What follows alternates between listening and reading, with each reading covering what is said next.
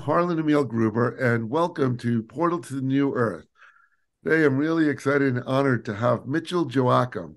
He's a professor of architecture at NYU and the co-founder of Terreform One Studios, which is his architectural and art studio that works on developing various projects, such as the ones I included in my book, The Fab Tree Hab, and what you can see behind me, his vision of the post carbon city state. This is a view down one of the avenues in New York City that's been transformed into this beautifully lush green environment with a stream flowing down the middle, uh, easy access to public transportations, drones flying to take care of the trees. And it's just an incredible vision that he has for how we can live uh, in harmony with the earth. So really excited to dive into these projects and all the other stuff that Mitchell has to share with us today.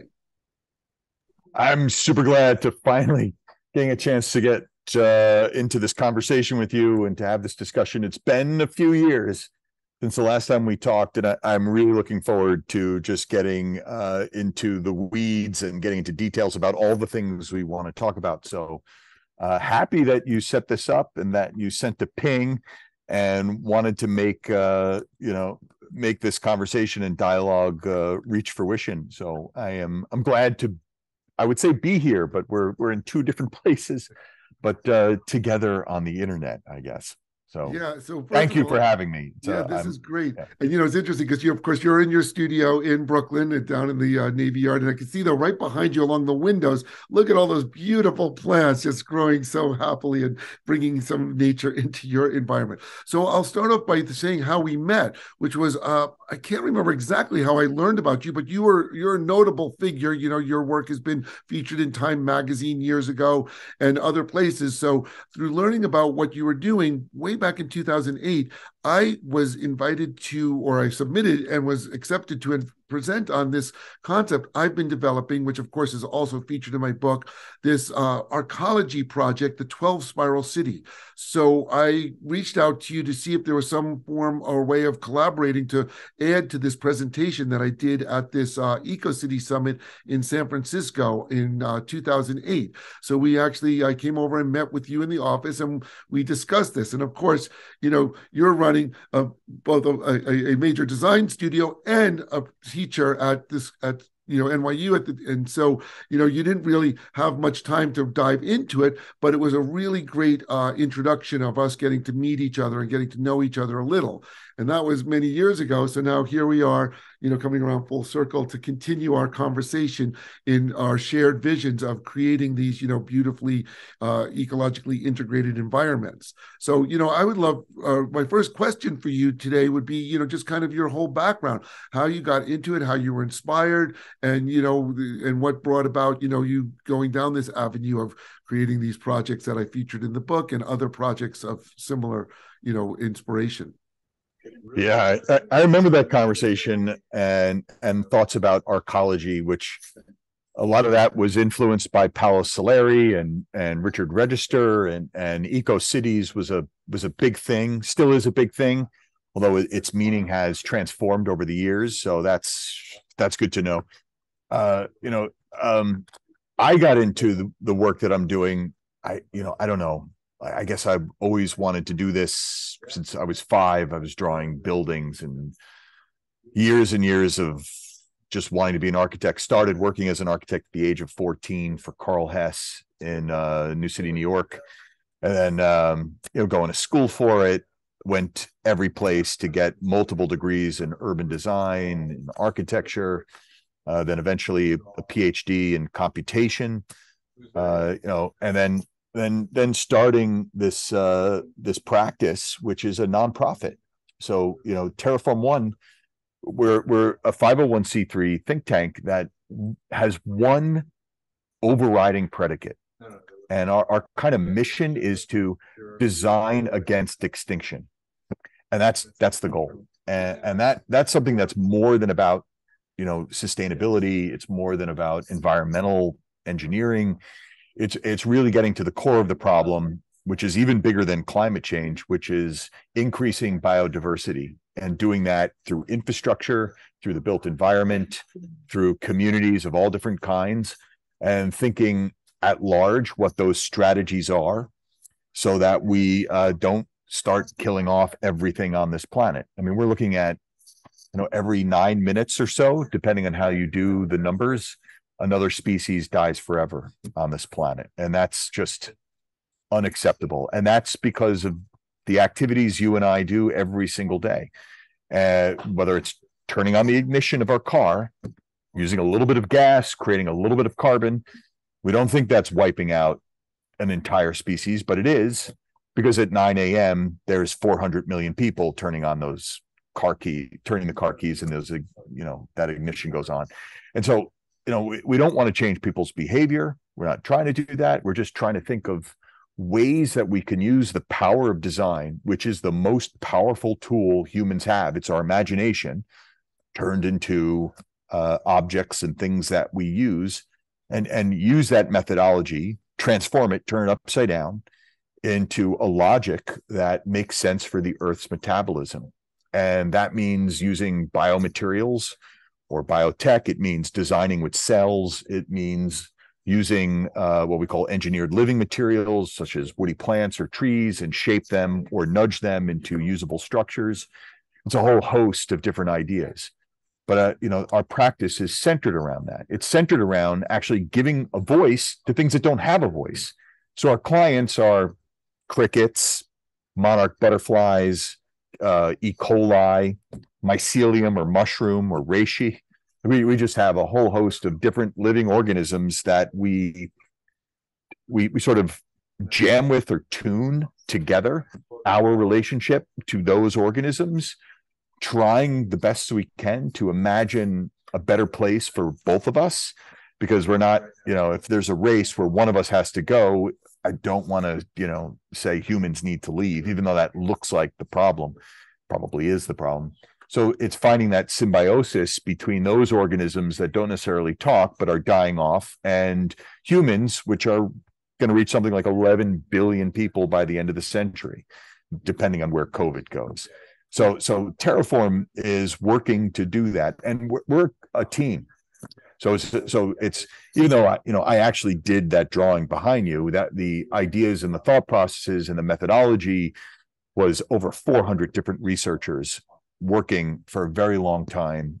Uh, for the last 16 years, we've been around coming up with all different ideas and visions and methods for how we can get to what we call a socio-ecological city a city that recognizes that we need to fit into the earth's metabolism but also that the public is capricious that we change our mind all the time and we need to onboard them in that process. It's it's maybe it's not so obvious i, I don't know but it, it, design needs to be holistic top down bottom up simultaneously and those visions help people create uh, an idea of what that green city would be and argue for or against it. So we can use those little arguments to get to a, a version of that city that's a, that that works for more of us not just for one single visionary.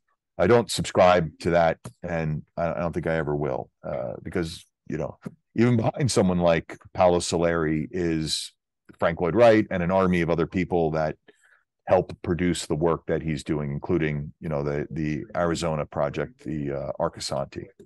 So, uh, all right, so that's my little intro speech. I don't know what you're no, thinking. It, it made me think of you know, what got me started on this path was coming across Buckminster Fuller's book, uh, Synergetics.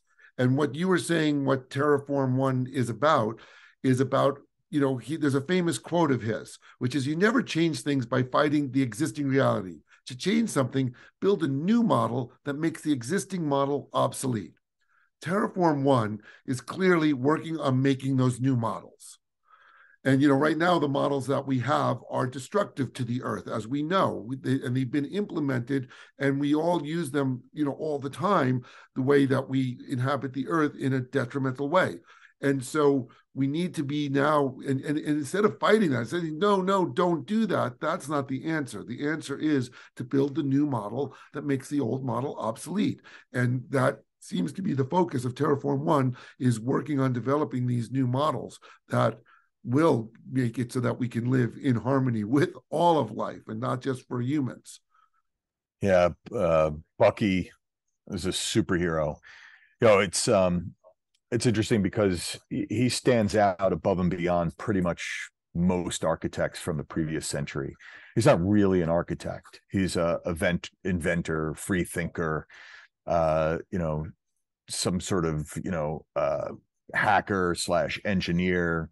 He's a real what we call polymath or heterodoxic thinker. He just disciplines and knowledge sets would flow through him, and he was a bit loony. You know, he would give these lectures that would go on for hours, uh, and he just his writings are incredible, but also prolific to the point of you know overdoing it. It's not, uh, not but useful, not, yeah. not accessible, which is unfortunate. And his books and writings is aren't exactly you know user friendly. You really have to dive in and yeah. want to read and deal with his way of, of of writing and his language but fortunately, you know, he is yeah, still, but better than not having any writings. You know, yeah, no, yeah. and of course he's still you know being very notable right now. You know, I was in this Buckminster Fuller Institute Design Science Studio, which is on pause right now, but they were doing they're trying to do the whole uh, 2020 to 2030 every year a uh, program, um, and you know, yeah, he is still a major influence, and maybe even when I say major influence, actually he's not. He's a minor influence, but he's starting to take on more influence even at this time, even though he passed, you know, 50 years ago. And um he's a major influence. Even I was looking at this uh, old uh, video of Steve Jobs talking about relaunching the Apple campaign and how he just didn't he wanted to have a advertising campaign that did not mention computers and didn't sell computers in fact, it made no mention that these would be devices that help you, uh, you know, do work better, manage things better, uh, do redundant tasks incredibly simply, and that the interface would be for almost anyone to access and to transform education. He didn't want to say anything. All he wanted to do is point out values. And you know, I, I have some issues with Steve Jobs, but this particular one, the campaign that he started for Apple was brilliant because he wanted to align the values of that company. And values are probably the most important thing you have. It's your principles with a set no, group of people that were transformative.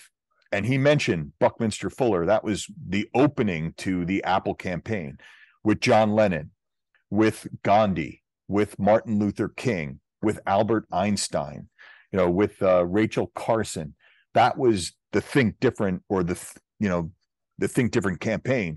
And they and these people were doing just that. It had nothing to do with computers whatsoever. And they they really didn't mention any other architect. I think frank lloyd wright came in there a little bit later.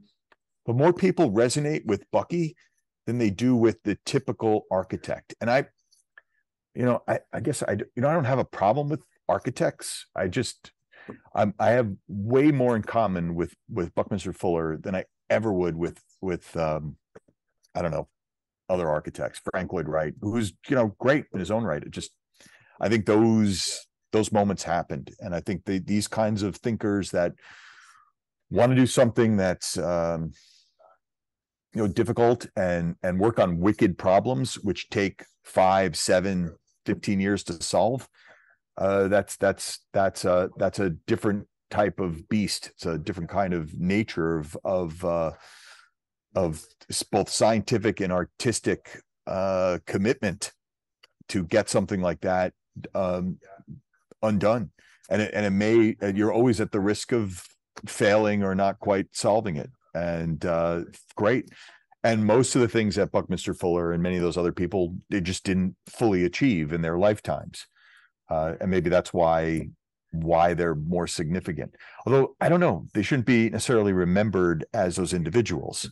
It's the things that they produced that's probably the more important thing, like civil disobedience, Henry David Thoreau, like uh, who you don't have to know Thoreau to know that you could argue against the government or the state or whatever power is in place and do it peacefully and that's a Thoreauvian concept, which is what Gandhi had used to, you know, fight the British Empire, uh, or Martin Luther King to create civil rights. So, so I, I don't have to know Martin Luther King to know that civil rights is very important. So I and I guess privileging the the methods and the meanings and the and those values are more important than maybe the individuals behind them. So probably the Steve Jobs issue is that he had such a excellent and overly healthy ego that he had to attribute these things to individuals when really it's the the millions of people behind them that resonated with it that made those things uh, a reality. Yeah. I remember I think the ads were just a picture of them and it just said think different and it yeah. had the Apple logo and that was it. You know, you listed a number of the people that were featured in it, and most of them were everyone knows who they are. But the last name you mentioned was Rachel Carson, and I know who that is only because you know, I went to uh, my first university I went to, I didn't finish, was Emory University in the mid 70s. Right. I just turned 64. I got out of high school a year early and I went off to Emory. And as part of going to Emory, they had this prerequisite. I don't know why, but you had to read Rachel Carson's Silent Spring. Now, mind you, in the mid 70s, the Environmental Protection Agency was just coming into full effect. Throughout the entire 60s, there was hardly any. Thank you, thank you, Nixon. By the way, what? just little credit to Nixon for that one. We okay, did anything good. But but yeah. first of all, like the New York City was, which is what you know, I grew up outside of New York, but New York City, the Hudson River, it was dead.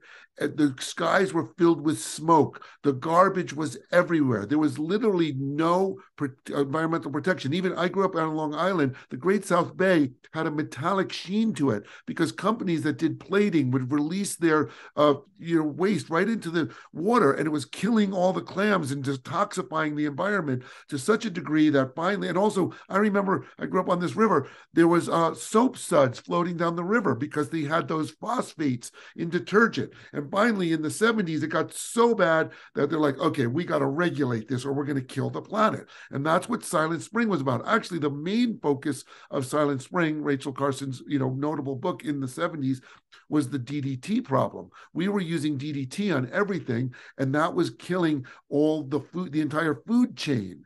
It was insane. And so, you know, we only just started to become conscious of this in our lifetime, our generation. You know, we're we're somewhat close. I'm a little older than you, but we we we lived through it. But a lot of people right now who will be watching this are from a generation where they didn't live through that and maybe don't even know that that's what exactly happened. And that we uh, really do have to be conscious of how humans interact with the environment or we're going to destroy it. And the thing is, you know, right now there's a thing coming up, you know, they use Roundup on every single wheat field in America. And it's a it's toxic. And you know, I'm not going to go down this rabbit hole, but there is the possibility that some of this stuff is by design, that they are allowing detrimental things into the human population. Um, that's a tangent. Let's keep this on track. Yeah, yeah, yeah. No, I mean, everything you said about Rachel Carson, absolutely true. Also, I believe they mentioned Jane Goodall and uh, Mary Curie and just a whole host of other like overachieving, brilliant women. So, which I, I think is important to recognize. Uh, you know, Rachel Carson is the sort of mother of the environmental movement in a lot of ways. Um, I, I, actually also think that John Hershey or Hershey's um, Hiroshima book, which predates predates that, was even stronger when it comes to us thinking about the environment. It was the the first time really the first time in the in the modern era where we understood that humans have the capacity to wipe out all of nature, to end everything, which Bill McKibben picks up on many, many years later, I guess in the, sure. the 90s.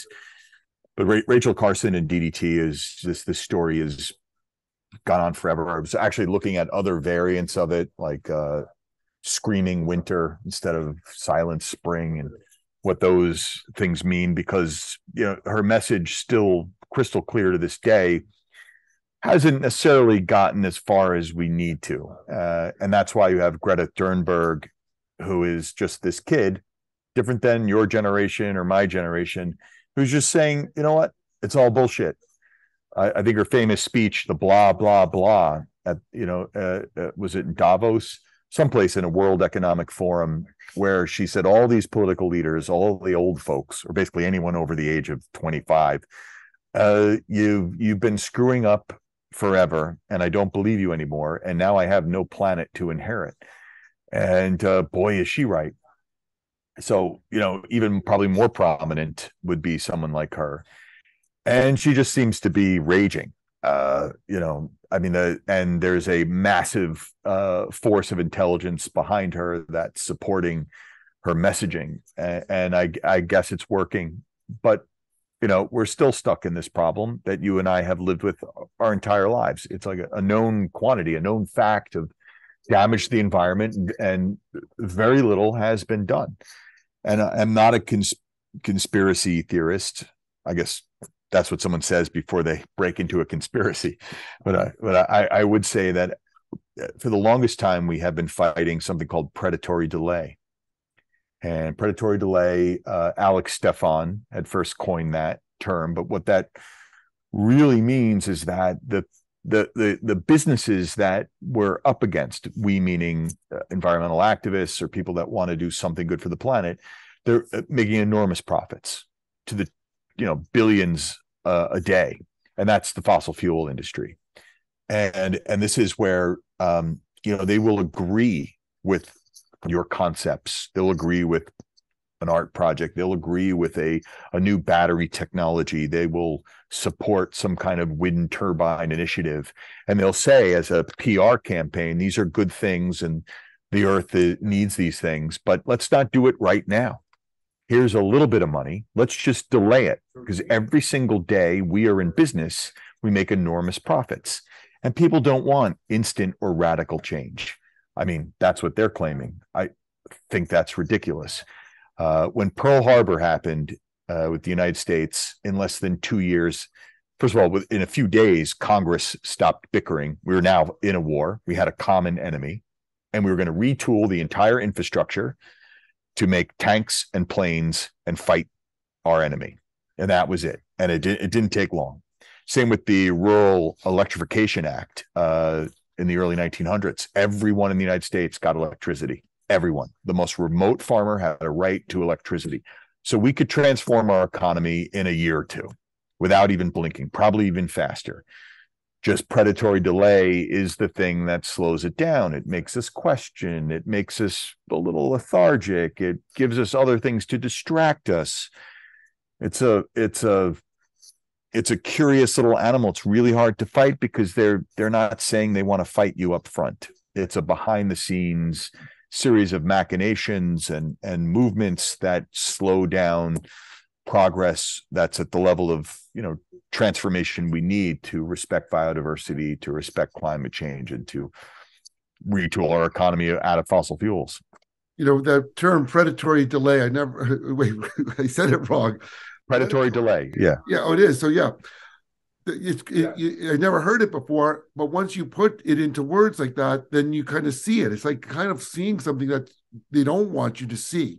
But you brought up another interesting thing about you know with Pearl Harbor and how we put so much into the, the military, and even now today, the military budget is just insane. The amount that is spent by the United States, which is more than like the other three superpowers in the world put together. And this brings us back to Buckminster Fuller, you know, quote or saying about how we just need to shift from weaponry to livingry. Like, if, could you imagine if in, if we just took the entire budget of our military and put it towards making environmental friendly everything from transportations to homes and everything what could be done. But no but but because- okay but okay yes yes mostly. Like our, our, military does trickle down. Like not all of it but you know um probably some of the biggest advances in computation quantum computing is a military effort that's going to change everyone's lives and has uh, spending money on a you know sixty million dollar F twenty two to shoot down a Chinese balloon, that's not money well spent. But yeah, there there are things that the, only the military industrial complex could probably achieve. It's a matter of when it's released and getting access to that, mm-hmm. and it, it's a very careful thing to do. It's a slippery slope because as soon as the the average capitalist or business person in a democracy gets access to this, the market takes over, and then those things work for a little bit, whatever technology is trickling in from the military. But then it's it's reverse engineered and goes to places like China, and all of that money and effort in the things that we invented and developed suddenly permeates to every other culture, which I'm okay with. But the people who invent it and make it, and maybe the average tax paying American is not so happy that the Chinese benefit from our trillion dollars worth of research in the military, and we don't get a chance to use it for more than one or two years before they capture it. Uh, uh, so, and that's that's one of a, a million issues. But those technologies, even the space program, we had we are talking earlier about that. They do they do come into infrastructure in the built environment and into the workplace and into our homes they do it through strange routes introduced through shell companies or maybe directly attributed to the inventors, but it, it is there. Um, it's just that so much of it seems to be this black box, and we start to get conspiratorial about what's really happening there. Uh, and that's fair because it's just such an enormous amount of uh, our money that we don't know where it's going.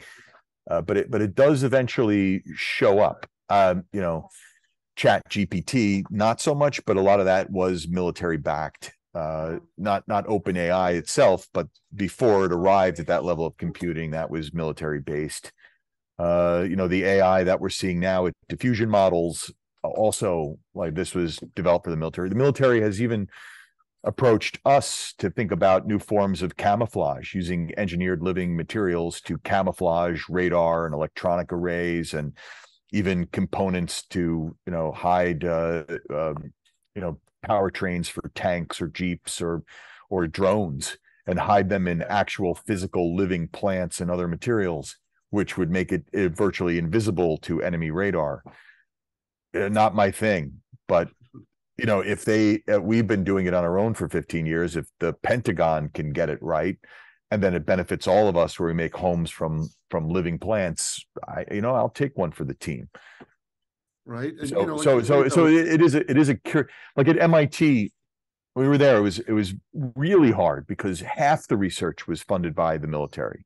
Half those folks become astronauts or go to nasa not half the folks become astronauts but many astronauts went to mit the, but many of the people that were at mit work in defense and I, I, just had a real problem saying, well, why are you spending all of your mental energy developing smart bombs for dumb leaders, which was a slogan then. But it, you know, it, it that those same same technologies eventually cross over and transform paths and can be used for good. So it's just you know the only one out there funding it is something like DARPA or the Pentagon. I mean it we have to think about like the private investors don't necessarily jump into you know uh procurious areas of research and are not really sure when they're going to get a return on their investment. The military will do that for a certain amount of time. Not that i am and i got to be clear saying the military is the route to go. It's just there is some success stories from there and um. I recognize. Well, see, obviously, that is the route that we're in right now, and of course, the trickle down though takes a long time before yeah. it does reach us. And if we could somehow, like Buckminster Fuller would envision, shift our focus from weaponry to livingry. So let's uh, bring this back uh, on focus because uh, you did mention uh, about this idea of like building a house by growing it. And that's one of your more notable projects uh, that I included the Fab Tree Hab, which, uh, you know, what we'll put the link to your TED talk, so you don't have to go into you know all the details about it here. Someone can uh, just go and watch that whole explanation of it. But just this whole thinking of uh, livingry of how we build our homes. And like Buckminster Fuller did say that in the building industry, there's like a 50 year delay between innovation and when it's finally implemented because there's such a the, that predatory delay that the industry that's entrenched doesn't want these new things. And you know, even when he came out with the Dymaxion house, it got completely crushed. It was like a house based on like aircraft manufacturing techniques to make a super light, super amazing house that could be transported and put anywhere. And the architectural and building construction industry said, no, you're not doing that. We got to build the houses the way we've been building it. And even now, someone just sent me some uh, house that unfolds and is all like that, you know, and of course, tiny homes and all this stuff. But it's really been kind of kept to a minimum what we could actually build as far as living goes because of the entrenched industries that you know rule and like i i live out here you know i'm in california and i drive through i went into la and back to pick up my books and you see that suburban sprawl, the same box houses built out of the same crappy materials from Home Depot, you know, OSB and Tyvek wrapped, and they just make, you know, it's not the eco village that I want to go and move and live into. And yet that's still is the MO. That's still how we're developing the United States. You put a strip mall with your supermarket and your Walmart and your Home Depot and your Starbucks, and they're the same everywhere, whether you're in Connecticut or California or any state in between, and you build these box houses that just sprawl forever. So let now let's you know. So you you you could describe. I love your description. You know, and like I said, you don't have to go into detail, but you know, the Fab Tree Hab is definitely a departure from that way of thinking. And you're setting up, it's like a model of how to think of how we can build. And I know you have other ideas besides that of the same. So yeah, I can't believe you mentioned Home Depot.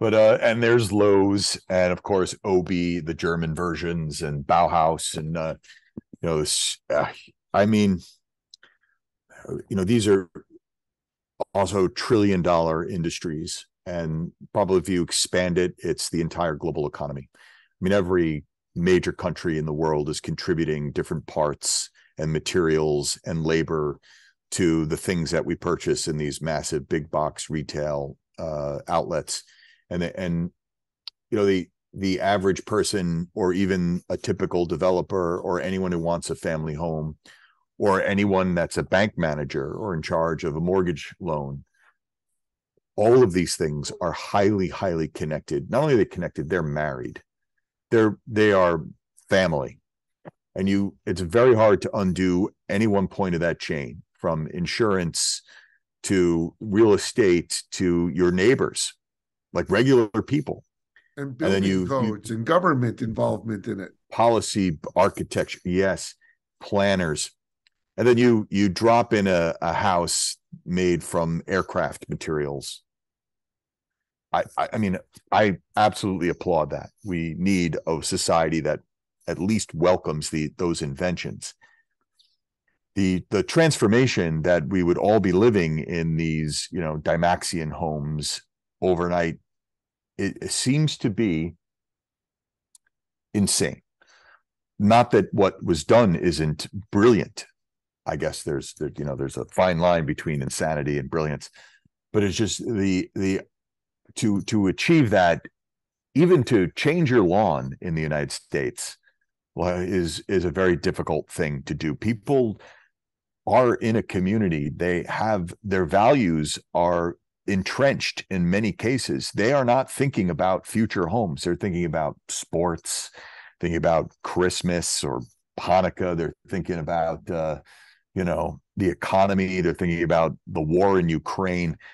They're not thinking about future homes necessarily. And you know, if it does come about, it has to be such a convincing, massive, leapfrogging technology that is cheaper and better and instantaneous and is just obvious. It's so cogent and so crystal clear, like a diamond bullet going through the center of your skull that you have to go with that that idea as opposed to the Home Depot system it, it's very tough to get there. Um, you know, we think we might have a version of that, but we we we don't have the hubris to believe it's going to happen overnight uh, because of all of the mechanisms in this marriage, this chain of of connection that that people need. Even when I want to get materials for a home, like a you know renovating a place uh, upstate, it's just all the math comes down to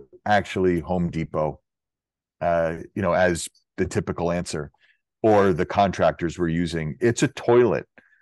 I I I have a lo- limited time on this earth to redesign toilets. You know, they're they're three hundred bucks. Uh, it's crazy. It's not really three hundred bucks. Story of Stuff, Annie Leonard, that uh, that video and her book, and she's the CEO of Greenpeace. She'll tell you that toilet really isn't three hundred dollars. Can't be possibly really made for that, but it's there. Uh, aisles and rows of them in our our giant retail outlets, and they plug into an infrastructural system and a utility network that is very hard to change, including the regulations and the rules and the laws about polluting this environment. And, and there isn't, you know, we're not going to necessarily, you know, go to outboxes overnight uh, or outhouses. Sorry, although we probably should, we probably should, but I just don't see the you know red-blooded everyday American deciding to throw out all of this convenience that's been worked on since ancient Rome or ancient China and and do something that is a, a kind of a radical uh, indigenous infrastructural technique for going to the bathroom. Um, so so we're working hard to propose changes that on some level impact people softly. There's just very little very little ask to change, but the benefit is dramatic. That's key. Tesla is one of the few examples where sustainability was achieved with that way. It's a soft amount of transformation. You got to get off gas and maybe now have a latte as you're charging your car. Still difficult for many people to to cross that line. Still very difficult, but it's an electric vehicle, and then we can work on the rare earth metals, the cobalt and the lithium ion, all the things associated with problems with electric cars but it it, it sold people uh, this idea of of a new type of vehicle system and powertrain that we needed to get to when Ford and Toyota and Nissan, every other company couldn't do. I mean, the Prius was a joke.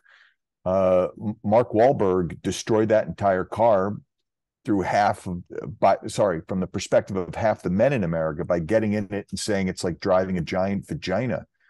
I don't, you know, that guy crushed the sales. Uh, and then along comes Elon Musk and sells a muscle car, a luxurious, you know, powerful vehicle that says I'm a, you know, a powerful man, or I I own precious things, and it worked with our system. I look, I I can't change how, you know, what people value. I just I do recognize that those values are real, and uh, they're they're they're they're not that deep. So, you know, the Home Depot isn't that deep. That's probably why it works.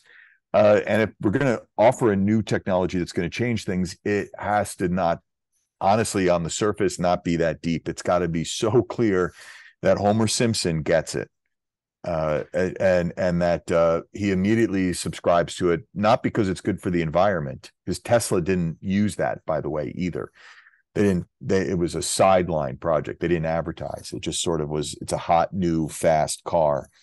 Uh, but something that just makes sense that's cheaper than existing models cheaper than home depot and happens to be fantastic gives you more space gives you more room and, and just somewhere mentioning you know what? It's good for animals and insects and trees and birds and nature but not really the upfront because most people don't care. They they actually want to have a, a home that's good for their family. And so we are trying to make a home that's multi-species, multi-species for all the different organisms we share this planet with, but also for human communities and human activities, our jobs, our schools, our government. Like that, it is a it, it is a um, it's a tough project, and the the messaging that that uh, you know that Buckminster Fuller has for all of his amazing invention and his you know his real glorification of this change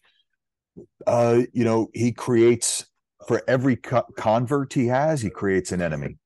Creates people that feel outside of that loop that feel like they're not as special that feel like they don't deserve something like that. They're not in the elite class that deserves a you know a superstar house they want to just be like everyone else.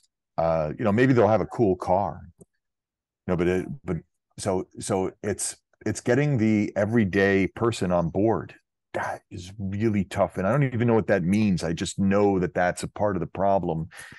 And, and to respect those folks. I, I don't subscribe to some of their views. Uh, I, you know, nothing against, well, I don't understand what happened with America and Trump, but it's this new world. And the idea that 51% of Americans support him, or maybe more, is mind boggling to me. But that only means I better pay attention and understand what their values are. Because if I just get more left and more extreme and more, you know, promissory about new technology is going to change everything, the further away they're going to go from our message. The more right they're going to be on the, the right side of the equation, the more entrenched they will be into traditional values and traditional looking homes and traditional infrastructure and mowing that lawn using roundup for the weeds um, and and you know and all the water possible just to keep grass happy when we don't need grass we need biodiverse environments Uh, okay so i was on a little bit of a soapbox but i'm helping with you to sort of to frame the problem that buckminster fuller really didn't do a good job of. He, I mean, he did a good job in the time to to to be heroic, but it's not heroes we need. We need people that fit into the scales of economy that work within the realm of buildability, that fit into those systems, so that the change that happens makes sense for billions, not for you know a hundred thousand people that know the difference here and there. So, and I, so it's that hero versus like the the everyday that uh that that i str- that we struggle with if that makes sense. I don't know. I don't know what you think of all that. It was that's, that's where i'm at. It was definitely a very illuminating tangent you know I, but i was and I'm going to bring it back. I don't even know how to comment. It was a great information you shared. You said Home Depot.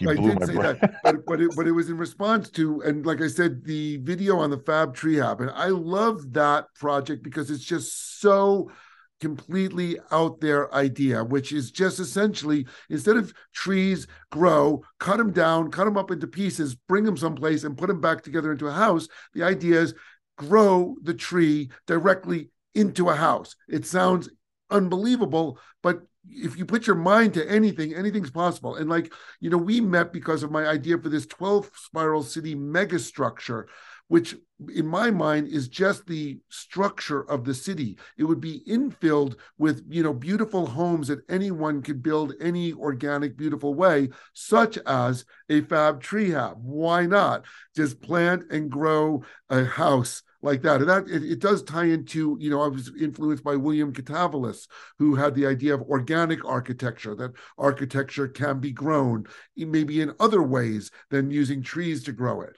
So I'm just going to put that out there as part of you know this yeah. conversation we're having because yep. it's such a visionary making a new model for how we approach society, not fighting the existing system of Home Depots and building codes and all that. You know, we don't have to fight or uh, fix it even. All we need to do is think of the new model, and more and more people are kind of waking up. And if we can just put these new models into place, those old models will become obsolete.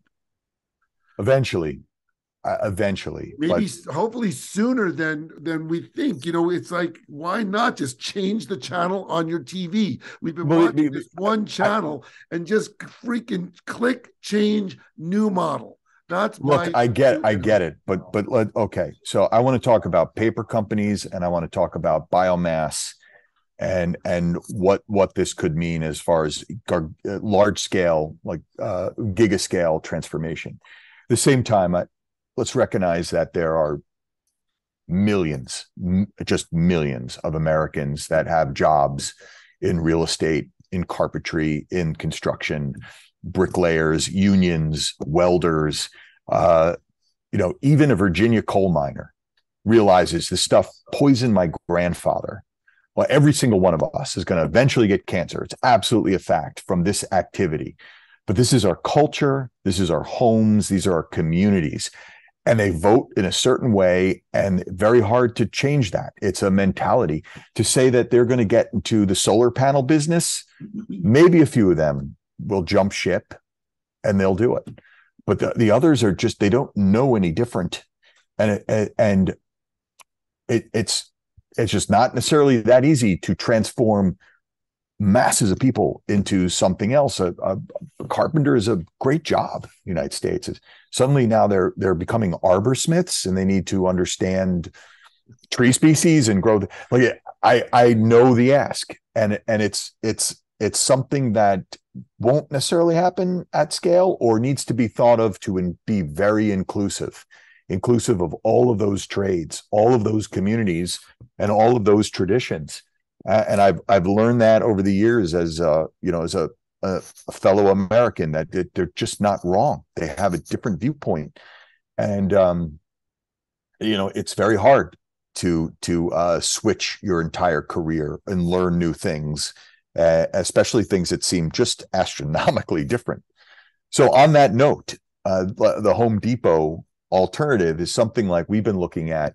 Where can you possibly get the amount of resources you would need to grow homes, to use engineered living materials from different woody plant species over, you know, to graft trees together to form inosculate, uh, continuous vascular systems made of living organisms? Like all right, that doesn't mean much to many people, but means you can grow trees together by nudging them together. They they it happens all the time in nature, especially in the tropics. You just need to nudge them into a usable shape for human programmatic use. So, how do you do that at scale, and how do you grow something quick enough and be inclusive of many different professions, and offer alternatives for people to continuously make money in the capitalist system that we have today? So we looked at a couple of avenues. One is farming. So there, there are initiatives mostly in, in Germany, Switzerland, other parts of Europe, uh, where biomass production, growing trees to burn. These trees are grown uh, with various woody plants, such as willows, are grown for a few years, five, seven years, and then they're harvested, pelletized, and then used as an alternate form of fuel. Brazil's got a different method uh, with sugarcane, but but it, you are growing for fuel, and that is that's a gargantuan industry. That's a lot of jobs. That's a lot of communities, and that's still really logical. So we want to take that same system that's already in place, keep making biomass fuel, but also take a portion of that and make homes. So if you're going to grow woody plants and you're going to grow them on a farm, millions of them in thousands of acres can actually pick up those plants and move them locally within 100 miles and start growing a village of homes that because the plants are already pre-grown you provide a scaffolding and you bend them into shape you graft them and you're good to go on day one. And the scaffolding is good because it still includes a little bit of the home depot culture a little bit of the advanced computational fabrication elitist engineering people and a lot of the carpenters are still there and, and other jobs foundation elements and other things still need to happen but you're providing a scaffold and then you're grow so it's a it's a a bridge system to a radical new technology where eventually you get a fully living home but you're respecting the trades and the system that's in place in the meantime including rules and regulations about how we live in communities and how communities are designed so, so, so we are looking at biomass or a grand agricultural economy into a grand housing economy. So that's very similar to what we were describing in that TED talk some time ago that I was describing. But now we're being much more exact as far as getting those trees to a place on time and working on day one. And then paper companies eventually become these are people that, you know, also grow massive tree farms and this is just for knocking them down and turning them into paper pulp and using different acids and ammonias and and bleaches to you know give us stuff to write on they also could become part of this new industry of construction when they start thinking of growing trees for producing homes uh, similar to energy farms. So, so those are two very big sectors that represent trillions of dollars of, of industry that are now offering new avenues for potential revenue, and that and that's and still keeping a lot of jobs in line. Uh, it's not a perfect plan, and I'm only you know, this is a sketch of a larger strategy. It has been 15 years for us to get to the point where we are growing a home in a site upstate New York near Storm King, uh, so that people can see a home made out of living trees that is available on day one that connects all of these other uh, scales of economy and revenue streams and job, you know, tradesmen and jobs, hopefully, without with, where the impact is only net positive as much as possible. And we gotta we gotta be very real about the criticisms we'll get. Like, will this destroy some part of the economy or or change how we look at homes? And and yes, it will, but will that be detrimental? Will will that will that be will that have negative effects on on uh, on people? And we have to be very careful about that. And I maybe we won't get the full answer right now because we know we can grow the structures, but it's it's very hard to grow, you know, to to grow doors and windows and uh, toilets and you know toasters and kitchen appliances so there's so much that's conventional that goes into it anyway and I, and I'm and I don't know how to grow a TV. I know that there's organic LEDs, but they're not really organic, are they? And uh, you know, so so we're doing our job, which is to get to the big part, which is the framing systems and the structural systems, and maybe the foundational systems uh, where we can we can grow those elements and use technologies that are out there. We large scale 3D clay printing. We think that printing earth is the least amount of carbon you can use next to growing plants, which is a positive sum game. Uh, that's that's also helpful, but has its limitations. And getting those materials, such as like a hempcrete, it's not necessarily readily available. It, it's taken 40 years to get hemp into the architectural guidelines as a legitimate material that you could build with. Like it's now part of building code. And that just happened this year. I could have told you that 20 years ago. Hemp is great. Still, and then even now that it's in building code, it doesn't mean that we actually can get it to, you know, it's just not available yet. Or mycelium as a great insulation system. Ecovative is an amazing company. Uh, they're manufacturing it uh, at bulk, if not at scale uh, levels. But you know, I've looked down the the Home Depot aisles of insulation, and uh, fiberglass is still raging, and has a higher R value, and I you can buy it now, and it'll work for forty years. And it's guaranteed, it's insured and put in by bonded contractors. And we all know that it just works and saves on your energy bills. So the idea we're going to get mushroom insulation today has just been very difficult to create that change, even though I'm 100% for mycelium insulation and not fiberglass. So, uh, you know, and that's just changing one part of a house. So I think more and more of these synergistic like, and we're going to use a Bucky term, uh, like uh, methods and things that go from ideas to being productized, such as mushroom insulation or tree structures for a home. Like these these things eventually reach fruition and they snap together out of this primordial soup of different ideas that are out there, and then eventually reach a point where they they have a, a kind of a, a logic where they fit together. I don't think it's going to happen that soon. It would only happen if suddenly there's a massive climate crisis and we have to do this. But as long as like, you know, we're business as usual and climate change is virtually invisible to many of us, especially biodiversity loss, I don't I, I'm very skeptical about Americans changing things. And we have there's other, you know, Bjorn Lomborg. Um, I'm on another sidetrack, but the skeptical environmentalist makes many arguments to me a little repulsive but to others kind of makes sense. It will cost trillions of dollars to fix the temperature rise, but we can spend a fraction of that and help help feed people, help the poor. I mean, it's, it's a crazy equation that he's making, but it's it's like it pulls on heartstrings and it fights against science. And a lot of us go with our hearts. Let's let's help some poor people And you know, what do those scientists really know about, you know, ocean acidity levels or you know, polar ice ice caps melting? I don't live there, and polar bears aren't, uh, you know, they're not on TV much. But starving kids are. Um, I don't know if that helps, but but uh, that's the the kind of the the the horrible math that we have to do yeah, we really are up against, you know, an entrenched system. That's awesome to hear though that this Fab Tree Hab is actually starting to be realized in some ways or not, you know, and like of course we can't grow everything, but that's super cool that that's moving ahead.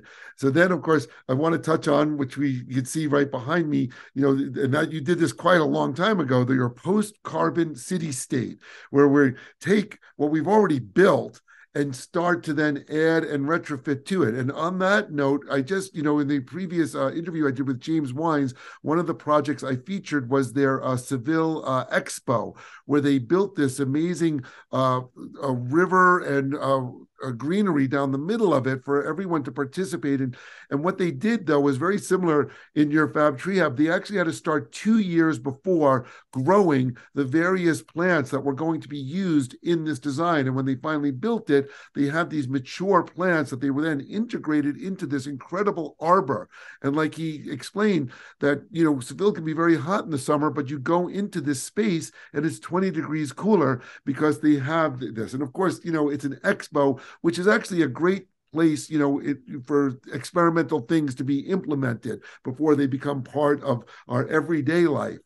Uh, and so that's kind of like what's going on here, though, where we're taking yeah. a very harsh environment and turning it into a much more beautiful and like i say there's the beautiful wetlands and stream right down the middle and then the buildings are covered in greenery and so i know you you could talk a little bit about this but then i'm sure you have been thinking about ideas like this, you know, since then and trying to implement these concepts. Yeah, yeah. I mean that that's um thank you for all that. And James Wines is is absolutely amazing. His High Rise of Homes project is one of my favorite of all time.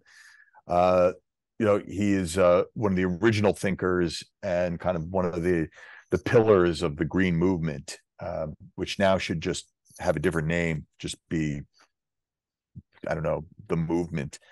But but um, you know, the the uh the idea of this image, the post-carbon city, uh, you know, comes from ideas of transportation and mobility, air quality issues, uh, energy generation from solar, wind turbines, independent battery packs, to flood uh, or sea level rising, to flood management, to farming, vertical farms, uh, a big part of it to different uh, use of, of biotech and living materials to waste systems and refuse changing in cities to uh, you know where we get water. And and more. So you know cities are all of those things waste food water energy air quality mobility equity like uh, and more. Uh so so a drawing that shows as much of that as possible that one could look at and say, I like most of it, but here's some things I would change. That was the kind of the purpose. And there is a riparian corridor going through the center that's supposed to be teeming with aqueous life. And we're getting rid of cars. You know, just no reason for cars in a dense urban downtown core. This is 42nd Street. That's the Chrysler building. This is a civic space for pedestrians to walk. It's not for cars. And we have high throughput transportation and trackless trains or basically linked articulated autonomous buses that get us from A to B and that are very much aware of where pedestrians are and don't need to move that fast. And then there's all kinds of, of living elements on the surfaces of our buildings for food or for air quality. And there's some idea of a modicum of maintenance through automation, some smart robots that can help service these things. Of course, human gardeners can do that too from double skin facades. They can occupy the interstitial space in those buildings and help grow different food uh, plants for uh, creating better air quality or for food or psychological effects. So all those things are in that particular drawing, and they're meant to be there. And they get criticisms like, "Oh, there's going to be a lot of bugs and mosquitoes." Well, you know, we're in insect apocalypse. Bugs are going away. Actually, can't get rid of them. Part of what you don't see in there, besides all the energy devices that are there, solar panels and wind turbines that are on the skins of buildings, are areas to save insects. So we worked on a monarch sanctuary, save butterflies because they're disappearing. Now the monarch, we've been working on this project for a long time, five years plus. The monarch is an endangered species, like the bald eagle or North American wolf uh, and many other things that just disappear. These beautiful creatures, which are native to New York, are almost gone. The surfaces of these buildings in post Carbon City were meant to be refuge, uh, uh, uh, sorry, sanctuaries or places of uh, uh, uh, refuge. Yeah, habitat and refuge for things like monarchs and other insects. And we need to, they're pollinators, not just bees but we need to take care of all those plants. Can't be all done by robots. So what's not in that drawing are still things we are still working on at full scale. We've engineered a two-ton facade with uh, BASF, different types of uh, of uh, construction materials that would last 300 years and are structural design for butterflies. That was our client. So it's in that drawing in the post-carbon city, which is still this idea of a of, of a of a city based on a steady state economy where things are cycling, where people are fairly treated, where uh, as much as possible we're we're entering this civilization 2.0 that's clean green and and uh, you know represents a radical transformation from the kind of the 20th century mentality of skyscrapers for corporations. So uh, that that's what's in that drawing and more yeah, no. you use the term civilization 2.0, which I think is kind of synonymous with, you know, what I use in the title of my book, the new earth. You know, what is this new earth? I mean, it has to do with how humans who are here on earth inhabiting it in a way that really makes sense for all of life, you know, to live together in the most beautiful, sacred, and harmonious way. So, yeah. Yeah, I agree. You know, um, look, we we got the Earth; it was just fine. We had everything we needed. It was just on the ground, and uh, we know, made a big mess. We're recognizing, though, you know, here in North America, the way the Native Americans, uh, you know, inhabited the Earth before it was, you know, colonized by Western culture. But we also see uh, in Australia, the Aborigines, they when they discovered or you know took over Australia, they just thought these Aborigines were completely primitive and the landscape was just natural. But they're now starting to understand that the Aborigines interacted with the landscape in a way to make it what it is, much more habitable for them, but in a way that's so different than Western thought. And also, what we're discovering now that we're you know uh, cutting down and burning all of the uh, Amazon rainforest is they're seeing these intricate designs and this type of soil that was there. And that actually before the Spanish came and conquered it, there were cities of millions of people there that within just a few years completely they were decimated by the uh, uh, diseases that were brought there, and these cities disappeared underneath this very rich foliage that we're now starting to see that humans did interact with nature in a way that we as Westerners would just call it was wild. We don't see it as human interaction and development because it looks so natural that it just looks like that's nature in its own. But we're now starting to learn, and the type of stuff that you're doing, you know, Pab is to work with nature as a form of technology that's radically different than our conventional Western scientific logical way of designing and building and making things. And, and it, it's to the point where it looks natural rather than man-made. But you know that's this big shift it's a big shift of consciousness but this consciousness already did exist in the aboriginal peoples uh, you know of native americans and other you know societies from way back when and now yeah to integrate it into this kind of western technological mindset or to take this next step civilization 2.0 as you called it. Yeah yeah. Um, a lot of uh, a lot of what you said i agree with. There's a great book by julia watson um, called Lo-TEK or radical indigenous technology we're just going back to the way things were done a few thousand years ago and realizing that is a technology. It is super valid it works within our uh, you know natural systems and is something that we shouldn't discard. It may take up a little bit more land, maybe slower than mechanized versions or chemical and not versions. as cost effective, and that's a big not as cost, not not optimized. so but many things because is it the is it the cheapest way to do it? And I think in our new Earth civilization, no, we should shift. Is this the most beautiful, the most sustainable way. It might not be the cheapest or most economical, but those in the long run don't make the most sense. I know, I know, and, and there there are arguments against that too. Like I'm I'm still on the fence about some of this. Like a, uh, there's a Wonder Bread argument, which uh, I know our time is limited, but that argument is, you know, um, what would you rather have?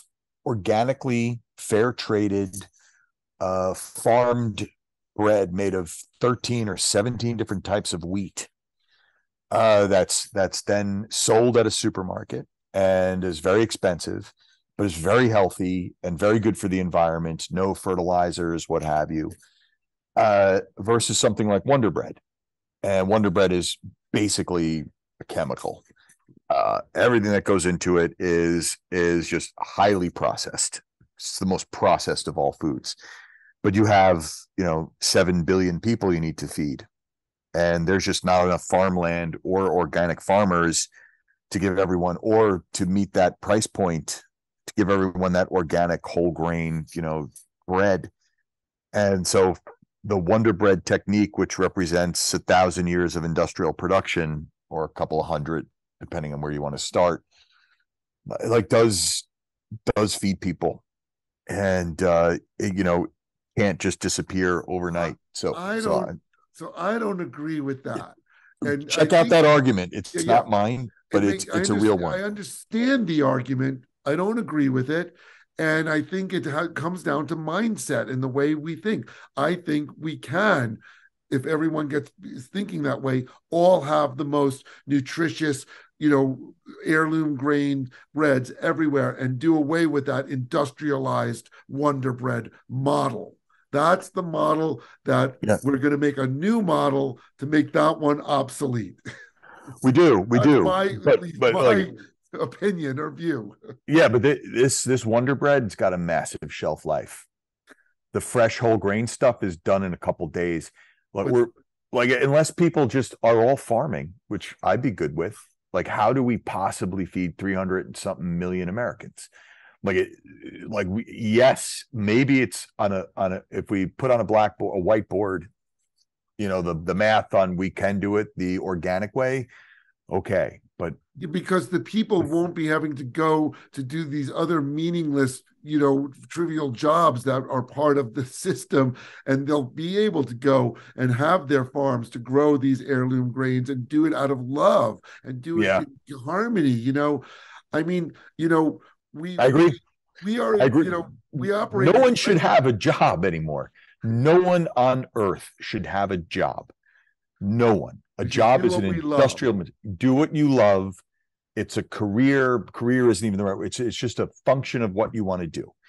And I think technology is racing towards that. There's a lot of discussion about automation and replacing truck drivers and burger flippers and all these things with, with you know simple AI and basic robotics and that should happen because people need to spend more time with their families and their communities. And if they want to farm and they want to cook or they want to take karate, they should just do that all day and be happier society. Uh, and so eventually we should get there. I, I, I'm, I think Andrew Yang had a bit of a promise there with this kind of like uh, the the basic what was it called the basic income plan, um, universal basic income, yeah. like that. That was the beginning of it obviously some people have it wrong but yeah i don't believe anyone should have a job.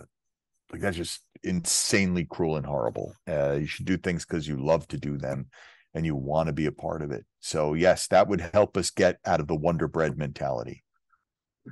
Yep.